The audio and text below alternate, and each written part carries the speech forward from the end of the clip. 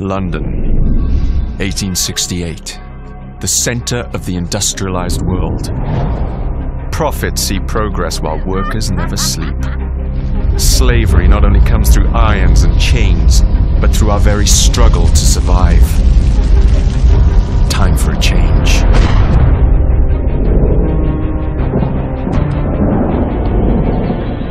Enough of those who seek only their own gain. We're amidst an industrial revolution.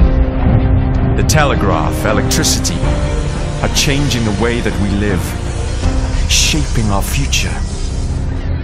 But it must be a future for everyone. A different revolution is rising, more subtle.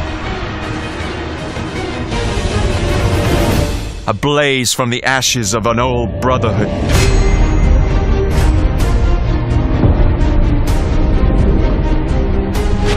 Shall rise. Street gangs will be our armies. The slums our fortress.